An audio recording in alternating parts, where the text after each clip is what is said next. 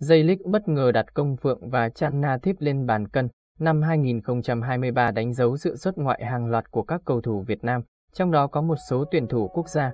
Theo đó, Công Phượng sang thi đấu cho câu lạc bộ Yokohama FC của Nhật Bản tại J-League 1. Trước Công Phượng, tiền vệ Chan Nathip Song Asin cũng đang thi đấu tại Nhật Bản. Anh chơi trong màu áo của nhà vô địch J-League 2021 Kawasaki Frontale.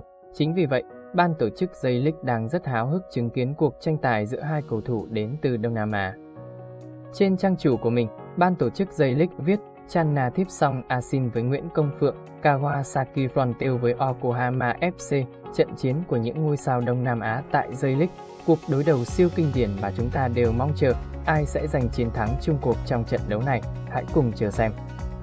Mới đây, huấn luyện viên trưởng của Okohama FC cũng dành cho Công Phượng nhiều lời khen.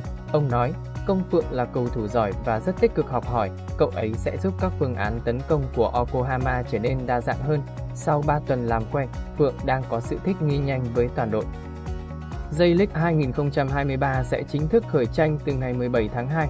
Trận đấu giữa Kawasaki Zonta và Okohama sẽ diễn ra vào ngày 18 tháng 2. Cùng theo dõi Netbit để cập nhật những tin tức mới nhất nhé!